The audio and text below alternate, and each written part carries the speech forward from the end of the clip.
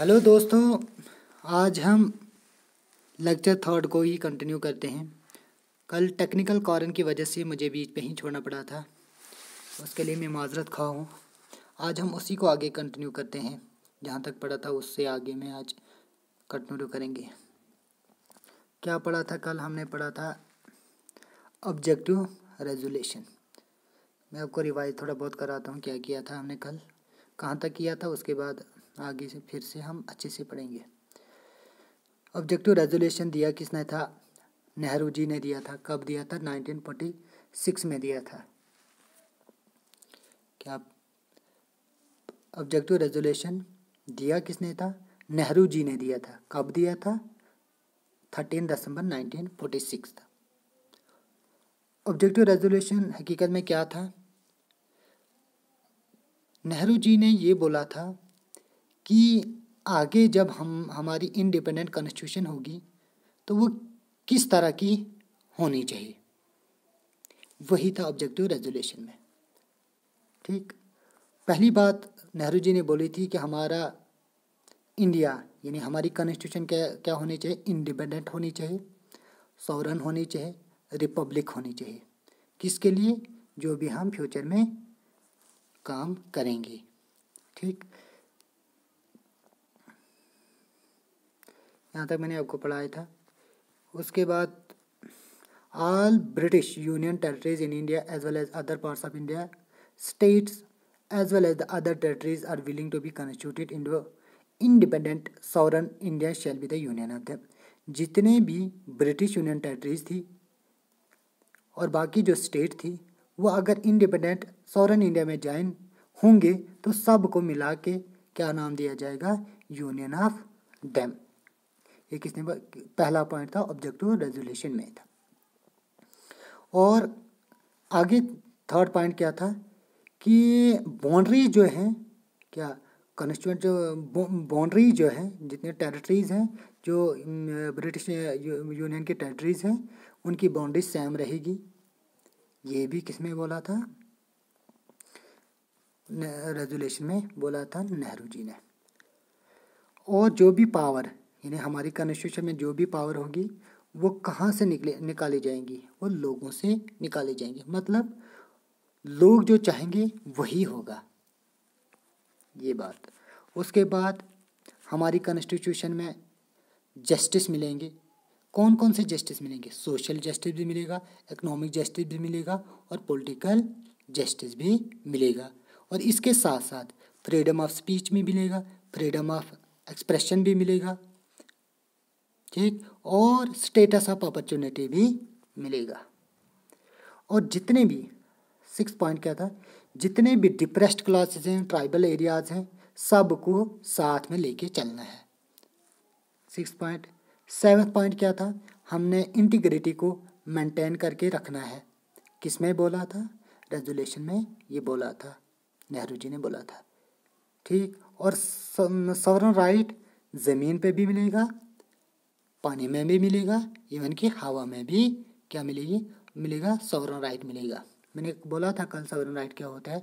जिसने ये, मैं आपसे एक रिक्वेस्ट करना चाहूँगा कि जिसने पहले वाला लेक्चर नहीं देखा है प्लीज़ पहले आप थर्ड वाले लेक्चर को देखें। प्ले लिस्ट में इंडियन कॉन्स्टिट्यूशन के नाम से प्ले लिस्ट मैंने क्रिएट की है। आप पहले उसको देखो, उसके बाद यहाँ ना मैं आपको यहाँ रिवाइज थोड़ा कराऊँगा क्या क्या पढ़ा था, वहाँ मैंने डिटेल से आपको समझाया है, सॉवरन क्या होता है, सब कुछ मैंने वहाँ अच्छे से आपको बोला है। मैं आपको थोड़ा बहुत हाईलाइट करके बताऊँगा कि क्या क्या हमने कब, कल पढ़ा था। उसके बाद एट्थ पॉइंट क्या है? टू मेंटेन वो world peace and welfare of the mankind world peace को मेंटेन रखना है welfare of the mankind maintain करके रखना है। और इस ऑब्जेक्टिव रेजोल्यूशन को कॉन्स्टिट्यूंट असेंबली ने कब अडॉप्ट किया था? जनवरी ट्वेंटी सेकेंड यानी twenty second Jan nineteen forty seven को ऑब्जेक्टिव रेजोल्यूशन को कॉन्स्टिट्यूंट असेंबली ने अडॉप्ट किया था। Change by independence act independence act जब आया तो उसके बाद इसमें क्या क्या चेंजेस आई? किसमें? हमारी इस इसमें चेंजेस क्या क्या आई? क्या बोलना है हमें? Prince who state away, stay away from the assembly joined the assembly on 28th uh, अप्रैल 1946 को 1947 सॉरी 1947 को जितनी भी कौन प्रिंसली स्टेट थी जो कॉन्स्टिट्यूंट असेंबली से बाहर रही थी वो सब इसमें कॉन्स्टिट्यूंट असेंबली में क्या हुई थी? ज्वाइन हुई थी। यानी six state were the part of the assembly और यानी सभी नहीं हुई थी। उनमें से सिक्स स्टेट क्या बनी थी? कॉन्स्टिट्यूंट असेंबली का एक हिस्सा बनी थी। उसके बाद मैंने बोला था कि माउंट बेटन प्लान की वजह से हमारे इंडिया और पाकिस्तान का बंटवारा हुआ था। पार्टीशन, इंडिया और पाकिस्तान की पार्टीशन हुई थी। कब कब माउंट बेटन प्लान आया था? थर्ड जून 1947 को आया था। ठीक, ये रखना याद। चेंज बाई इट यानी change by it in assembly. अब कॉन्स्टिट्यूंट असेंबली में क्या क्या चेंजेस आई किससे इंडियन इंडिपेंडेंस एक्ट की वजह से। The assembly become fully sovereign sovereign बन गई और जितने भी ऑर्डनरी लॉ जो ब्रिटिश गवर्नमेंट ने इंडियन इंडिया के लिए बनाए थे उनको हम एब्रोग्रेट एब्रोग्रेट कर सकते हैं एब्रोग्रेट वो कर सकते हैं। ठीक? और जो भी कन, जो कॉन्स्टिट्यूंट असेंबली है वो दो काम साथ साथ में दो काम करेंगे। कौन कौन से? Making of the constitution for free India and enacting the ordinary law for the country ये दो काम करेंगे। उसके बाद वैन और the constituent assembly meet as the constituent body it was chaired by chaired by doctor Rajendra Prasad जब ये constituent assembly as a constitution body काम करेगी तो तब कौन प्रेजाइड करेगा? चेयरमैन कौन होगा? डॉक्टर राजेंद्र प्रसाद जी। और जब ये लेजिस्लेटिव का काम करेंगे तो तब क्या होगा? जी वी, मौलनकर क्या होंगे? चेयरमैन होंगे। और यहाँ से पता चलता है कि लेजिस्लेटिव बॉडी लेजिस्लेटिव बॉडी मतलब जहाँ से हमारे कानून बनते हैं। एक्ट बनते हैं रूल एंड रेगुलेशन जहाँ से हम तैयार होते हैं तो वो कहाँ बनते हैं हमारे लेजिस्ले पार्लियामेंट में लोकसभा और राज्यसभा में। और, और ये जो क्या थे जे वी मौलनकर जो थे ये फ़र्स्ट स्पीकर ऑफ़ लोकसभा भी थे। अगर बाई द वे कहीं क्वेश्चन आ गया भरोसा नहीं है जे के एस एस बी का कुछ भी डाल सकते हैं कि first speaker of the Lok Sabha G V Mavalankar. उसके बाद the two function constitutive November twenty six, nineteen forty seven, ये दोनों दोनों काम कब तक कंटिन्यू रहे? छब्बीस नवंबर उन्नीस सौ उनजा तक दोनों ये काम कंटिन्यू रहे जब तक ना हमारी कॉन्स्टिट्यूशन कॉन्स्टिट्यूशन को बनाने का काम ख़त्म हो तब तक ये दोनों काम कंटिन्यू हुए उसके बाद, अब यह इंडियन इंडिपेंडेंस एक्ट की वजह से कंस्टिट्यूंट असेंबली में जो टोटल मेंबर थे, उनकी स्ट्रेंथ क्या हुई थी? कम होती पहले कितने थे? थ्री एटी नाइन थे, अब कितने रह गए? टू नाइन्टी नाइन और ब्रिटिश प्रोविंस में कितने थे? टू नाइन्टी सिक्स अब कितने रहे? टू ट्वेंटी नाइन और प्रिंसिपल स्टेट में कितने थे? नाइन्टी थ्री अब कितने रह गए? सेवेंटी ये याद रखना। अदर फ़ंक्शन क्या थे? It satisfy the Indian membership commonwealth है ना कॉमनवेल्थ गेम में हमने कब ज्वाइन किया था? इंडिया ने इंडियन कॉन्स्टिट्यूंट असेंबली का ही काम चल रहा है अभी। मई 1949 को, यानी मई उन्नीस को कॉमनवेल्थ गेम में इंडिया ने ज्वाइन किया था। उसके बाद adopted national flag national flag कब अडॉप्ट किया था? बाईस जुलाई उन्नीस को अडॉप्ट किया था। नेशनल एंथम कब अडॉप्ट किया था? Twenty fourth Jan nineteen fifty, यानी चौबीस जनवरी उन्नीस सौ पचास को हमने नेशनल एंथम अडॉप्ट किया था। नेशनल सॉन्ग कब किया था? Twenty fourth Jan nineteen forty fifty को हमने नेशनल सॉन्ग को अडॉप्ट किया था। ये कुछ ऐसे क्वेश्चन है जो कभी आ सक, आ सकते हैं, पूछ सकते हैं। एसएसबी का भरोसा नहीं कि हर एक चीज़ को साथ में लेके चलना है हमने। और elected Rajendra Prasad as the first president of India Rajendra Prasad ji को क्या बोला? कि इलेक्टेड 24 जनवरी 19 1950 को राजेंद्र प्रसाद जी को फ़र्स्ट प्रेसिडेंट ऑफ़ इंडिया क्या किया? इलेक्ट किया। और कितने सेशन में कॉन्स्टिट्यूंट असेंबली के कितने सेशन हुए थे? अलेवन सेशन हुए थे। कितने, कितना टाइम लगा था कॉन्स्टिट्यूंट असेंबली को कॉन्स्टिट्यूशन बनाने में? दो साल, ग्यारह महीने और अठारह दिन। ये लगे थे। ये याद रखना है। और कितना, कितनी कंट्रीज़ में हम गए थे अपनी कॉन्स्टिट्यूशन के लिए, जो जो हमने लाना था, कितनी कंट्रीज़ में हमारे मेकर ऑफ़ द कॉन्स्टिट्यूशन गए थे सिक्सटी कंट्रीज़ में गए थे, ये याद रखना। और कितना खर्चा हुआ था कॉन्स्टिट्यूशन को बनाने में? उस टाइम पर सिक्सटी फोर लैख यानी चौंसठ लाख रुपये खर्चा हुआ था उस टाइम पे। Jan nineteen twenty four nineteen fifty the constituent assembly held its final session यानी चौबीस जनवरी उन्नीस सौ पचास को कॉन्स्टिट्यूंट असेंबली का फाइनल सेशन होती है ना आखिरी सेशन चौबीस जनवरी उन्नीस सौ पचास को हुआ था। छब्बीस जनवरी उन्नीस सौ पचास the constitution had implemented in छब्बीस जनवरी उन्नीस सौ पचास को हमारी कॉन्स्टिट्यूशन इम्प्लीमेंट की गई थी। लेकिन twenty six November nineteen forty six forty nine sorry twenty six November nineteen forty nine it was approved adopted यानी जब ये कॉन्स्टिट्यूशन का काम खत्म हो कब हुआ था छब्बीस नवंबर उन्नीस सौ का काम कॉन्स्टिट्यूशन को बनाने का काम खत्म हुआ था। उस टाइम पे क्या होता है? अप्रूव हुई थी मतलब अडॉप्ट हुई थी, इसका मतलब ये हुआ कि ये साइन हुआ था कि अब ठीक है, यही हमने कॉन्स्टिट्यूशन अप्लाई करनी है इम्प्लीमेंट यही करनी है। लेकिन उस दिन को रिपब्लिक डे नहीं बनाया गया। क्यों नहीं रिपब्लिक डे बनाया गया? रिपब्लिक डे कब बनाएगा छब्बीस जनवरी उन्नीस सौ पचास को। क्यों? मैंने बोला था कि छब्बीस जनवरी उन्नीस सौ तीस को पन्ना स्वराज डे बनाया गया था, यानी कंप्लीट इंडिपेंडेंस डे सेलिब्रेट तब किया था। उसी के कारण, उसी के बेस मान के, यानी उसी दिन को सेलिब्रेट करते हुए ये छब्बीस जनवरी उन्नीस सौ पचास को ही हमने क्या किया? रिपब्लिक डे को सेलिब्रेट किया, यानी हमने अपनी कॉन्स्टिट्यूशन को इम्प्लीमेंट किया। यही वजह है। पन्ना स्वराज डे, बस याद रखना है, छब्बीस जनवरी उन्नीस सौ पचास Purna Swaraj day sorry committee मैंने बोला था कि कौन कौन कम उसके बाद मेजर कमेटी बनी थी माइनर कमेटी भी बनी थी लेकिन मेजर कम, कमेटी कितनी थी? आठ मेजर कमेटी बनी थी। इसमें से पंडित जवाहरलाल नेहरू नेहरू जी के पास कितनी कमेटीज़ की चेयरमैन कितनी कमेटियों के चेयरमैन बने थे? तीन कमेटियों के चेयरमैन बने कौन कौन कौन सी कमेटी के चेयरमैन बने थे? यूनियन पावर कमेटी के, यूनियन कॉन्स्टिट्यूशन कमेटी के और स्टेट कमेटी के चेयरमैन कौन बने थे? नेहरू जी बने थे, यानी पंडित जवाहरलाल नेहरू जी कम कितने कमेटी के चेयरमैन बने थे? तीन। कौन कौन सी? Union power committee, union constitution committee और स्टेट कमेटी के चेयरमैन बने थे।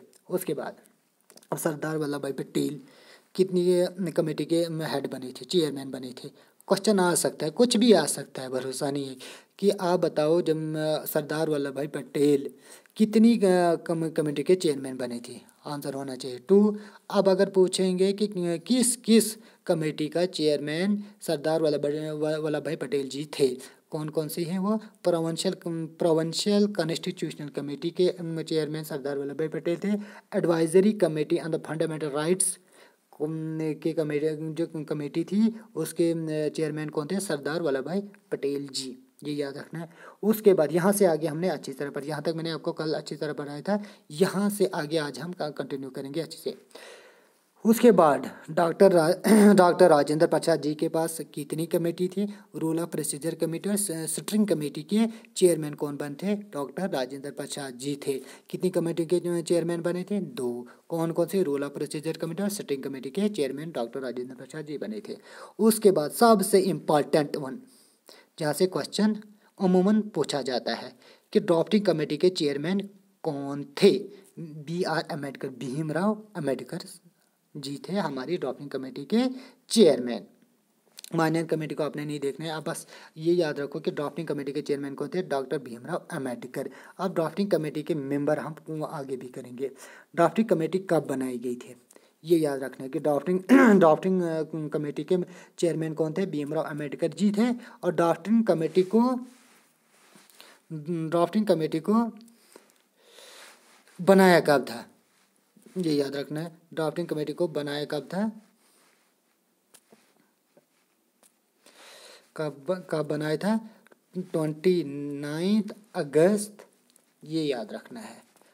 नाइनटीन फोर्टी सेवन को हमारी ड्राफ्टिंग कमेटी बनाई थी और चेयरमैन कौन थे? भीमराव अंबेडकर जी थे। ये याद रखना है, एक पॉइंट उसके बाद it was a committee that was um, that was meant entrusted with the task of preparing the draft of the new constitution and put for, in front of the constituent assembly अब इन इनका काम क्या था इन्होंने हमारी constitution को draft constitution का draft बना। ड्राफ्ट मतलब लिखना था। हमारी कॉन्स्टिट्यूशन को लिखने का काम उनतीस अगस्त उन्नीस सौ सैंतालीस में कमेटी बनाई गई थी, जिसका नाम रखा गया ड्राफ्टिंग कमेटी और ड्राफ्टिंग कमेटी के चेयरमैन कौन थे? भीमराव अंबेडकर जी थे। इन्होंने क्या करना था? अपनी कॉन्स्टिट्यूशन को ड्राफ्ट करना था, मैंने लिखना था। ठीक है? और उसके बाद उसको उस ड्राफ्ट को किसके सामने दिखाना था? कॉन्स्टिट्यूट असेंबली ड्राफ्ट मतलब लिखना था। सिंपल याद रखना। अब ड्राफ्टिंग कमेटी के मेंबर कितने थे? इंपॉर्टेंट वन सबसे इंपॉर्टेंट मैं मानता हूँ कि ये है, इसमें से यही है। कि ड्राफ्टिंग कमेटी के मेंबर कितने थे? सात थे। पहले तो याद रखना, कितने थे? सेवन थे ड्राफ्टिंग कमेटी के मेंबर बस। उसके बाद ये भी क्वेश्चन आ सकता था कि कौन कौन ड्राफ्टिंग कमेटी के मेंबर थे। पहले चेयरमैन आपको पता होना चाहिए ये तो सबको पता है डॉक्टर भीमराव अंबेडकर जी क्या थे? चेयरमैन थे। एक, उसके बाद मेंबर कौन थे? गोपाल स्वामी अहंगर क्या थे? मेंबर थे एक। उसके बाद अलादी कृष्णा स्वामी आयर, ये भी मेंबर थे। के एम मुंशी, ये भी मेंबर थे। उसके बाद बी एल मंटोर को रिज़ाइन के इल हेल्थ की वजह से महादेव ने क्या किया था? रिप्लेस यानी इनकी जगह इनकी जगह कौन आए थे? महादेव महादेव जी आए थे। किन की जगह? बी एल मंटोर की वजह इनकी जगह महादेव जी आए थे। किसमें? ड्राफ्टिंग कमेटी में। उसके बाद टी टी कृष्णा मोचा, मोचाई। मोचाई क्या थे? मेंबर थे। किसके ड्राफ्टिंग कमेटी के? याद रखना, सात मेंबर, ये याद रखने इंपॉर्टेंट वन है। आपको ऊपर से रिवाइड करता थोड़ा बहुत। यह, यहाँ से क्वेश्चन आने के चांसेस बहुत ज़्यादा हैं। कि ड्राफ्टिंग कमेटी के मेंबर कौन थे? ये याद रखना था। भीमराव अंबेडकर जी ड्राफ्टिंग कमेटी कब बनाई गई? उनतीस अगस्त उन्नीस सौ सैंतालीस को बनाई गई थी। और चेयरमैन कौन थे? डॉक्टर भीमराव अंबेडकर जी से मेंबर कितने थे? सेवन यानी चेयरमैन को मिला के सात मेंबर थे। ये मैंने आपको बोले कौन कौन से मेंबर थे? याद याद रखने हैं। उसके बाद Out of 299 members, only 284 were present on the day of sign in the constitution. Important one. क्या करना है कि जब इंडियन कॉन्स्टिट्यूशन क्वेश्चन आ सकता था, आ सकता है कि आप बताओ जिस टाइम पे इंडियन कॉन्स्टिट्यूशन साइन हुई थी इंडियन कॉन्स्टिट्यूशन पे साइन हुआ था, उस टाइम पे कितने मेंबर मौजूद थे? क्या? यानी अब कितने रह गए थे? टू नाइन्टी नाइन में मैंने बोला था कॉन्स्टिट्यूशन में मेंबर कितने रहेंगे टू नाइन्टी नाइन अब जब कॉन्स्टिट्यूशन पर साइन हुआ तो उस टाइम पे कितने मेंबर मौजूद थे? आपका ये आंसर होना चाहिए टू एटी फोर मेंबर वहाँ पे प्रेजेंट थे, जिस टाइम पे हमारी कॉन्स्टिट्यूशन पे साइन हुआ था। ये याद रखना बस। उसके बाद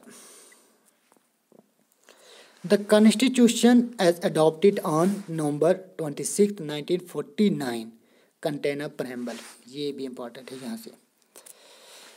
कि जब कॉन्स्टिट्यूशन बना था कॉन्स्टिट्यूशन का काम यानी अडॉप्ट किया गया था, कब? Twenty six November nineteen forty nine क्या twenty six November nineteen forty nine को जब हमारी कॉन्स्टिट्यूशन अडॉप्ट हुई थी, उस टाइम पे हमारी कॉन्स्टिट्यूशन के हमारी कॉन्स्टिट्यूशन का प्रियम्बल कैसा था? मतलब आर्टिकल कितने थे शेड्यूल कितने थे और पार्ट्स कितने थे? इंपॉर्टेंट वन सबसे इंपॉर्टेंट आर्टिकल कितने थे? थ्री नाइन्टी फाइव मतलब थ्री हंड्रेड नाइन्टी फाइव क्या थे? आर्टिकल थे एट क्या थे? शेड्यूल थे और एटीन क्या थे? पार्ट थे। याद रखना है। क्या थे? थ्री थ्री नाइन्टी फाइव क्या है हमारे? आर्टिकल थे। आठ क्या थे? शेड्यूल थे। एटीन क्या थे? पार्ट थे। ठीक? आप ऐसे भी याद रख सकते हो। क्या? उनतालीस, अठवंजा, अठारह। उनतालीस, अठवंजा, अठारह। याद रखना है बस।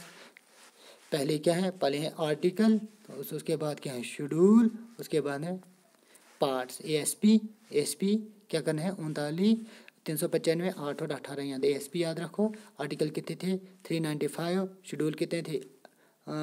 एट पार्ट्स कितने थे? एटीन ये याद रखना है। उसके बाद द कॉन्स्टिट्यूशन अडॉप्ट मैंने ये बोला नौ आज कितने हैं? ये इंपॉर्टेंट भी आज कितने हैं? आज कितने हैं? ये अपडेट करना आप। आज फोर नाइन्टी फोर, ये आप चेक खुद भी करना। गूगल गूगल पे सर्च करना है कि आज कितने हैं।